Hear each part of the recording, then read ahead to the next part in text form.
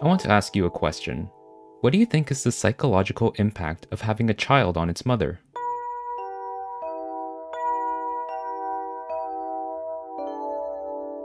You might be thinking, that's a simple question. Sure, the mother may experience some postpartum depression, but ultimately, women find having a child to be a blessing. And although this is most often the case, there are still many exceptions that must be considered. In the novel Secret Daughter, Somer is a Caucasian American woman. She had a miscarriage and, for this reason, adopted an Indian girl. She feels her identity as a woman is at stake due to her infertility and feels like this adoptive relationship just isn't cutting it. Kavita is an Indian woman. She's stuck in an arranged marriage and, because of society's expectations, must dispose of her two daughters and try a third time for a boy. Every day, she prays they're safe and wonders where they are.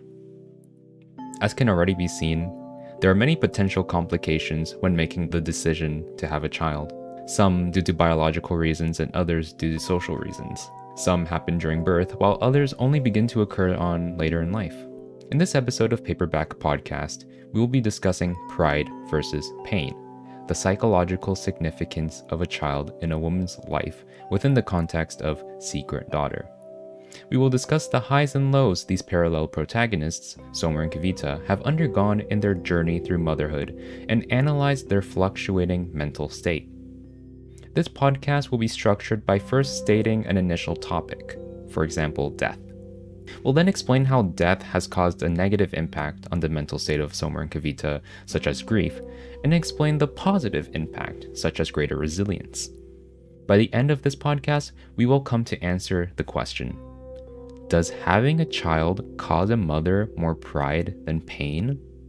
And ultimately, should she take this risk? March of Dimes is a nonprofit organization that works to improve the health of mothers and their babies.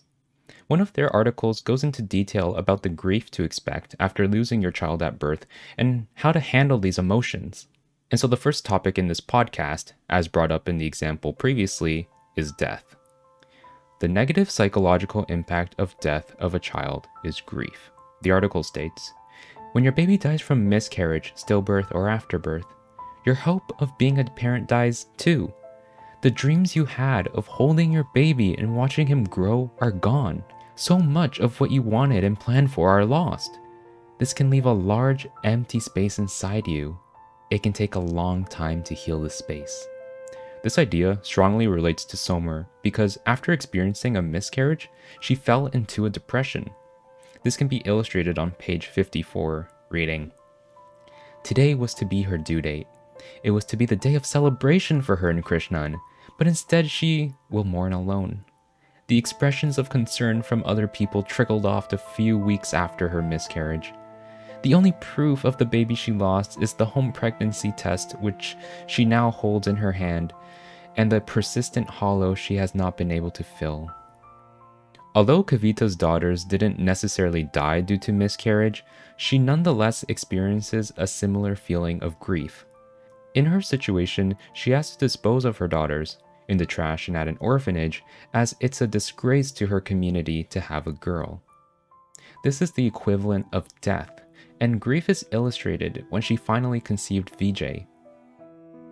Kavita wipes away her own tears.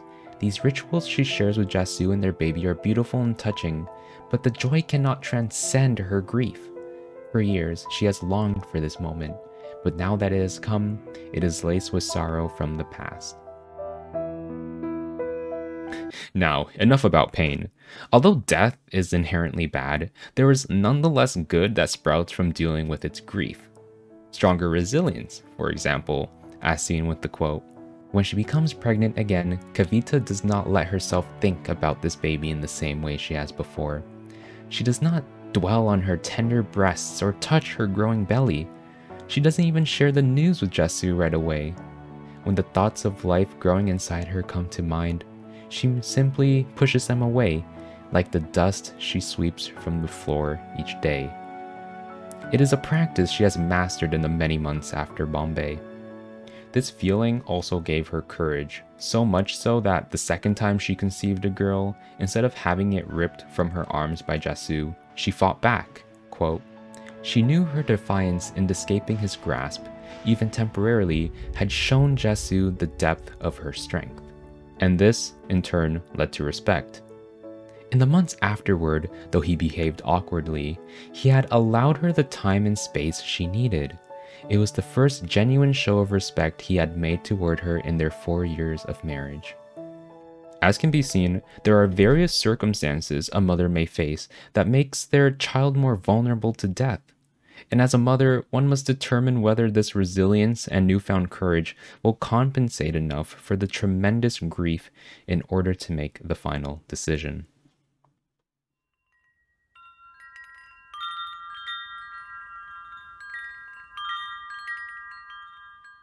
Mousey Leigh is a vlogger and lifestyle YouTuber.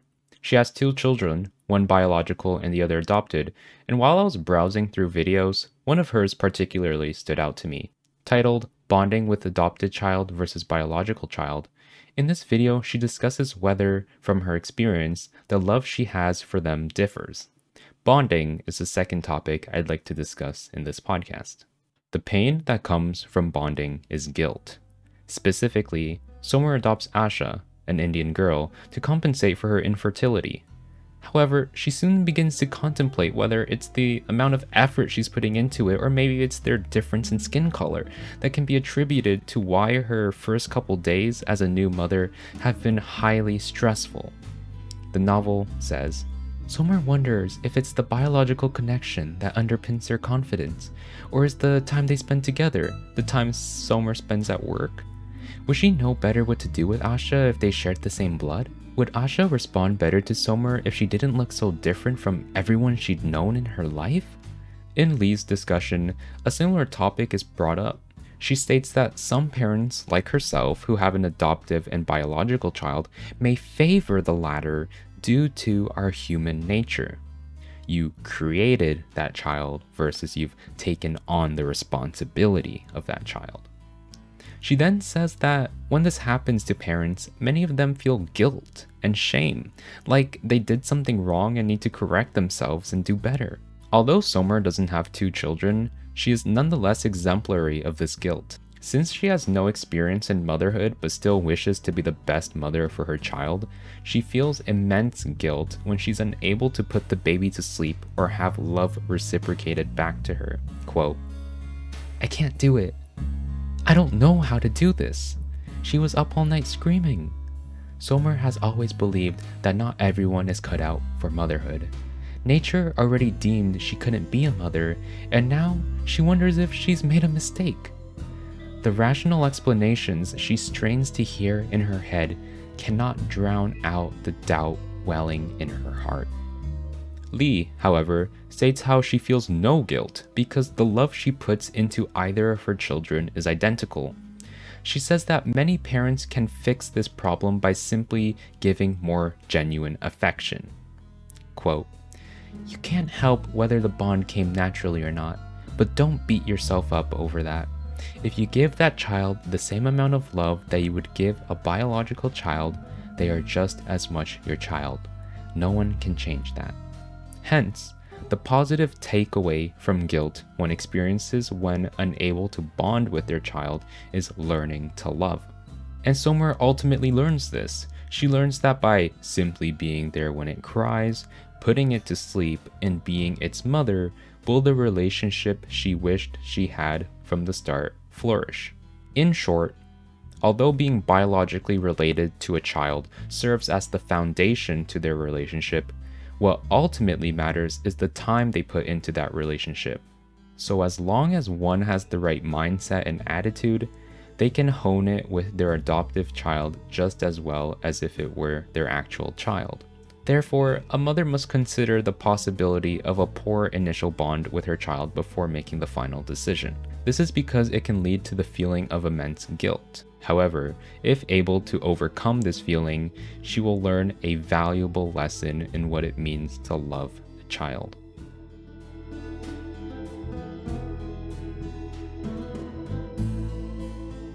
Now, I would like to answer the question psychologically speaking, does having a child cause a woman more good than bad?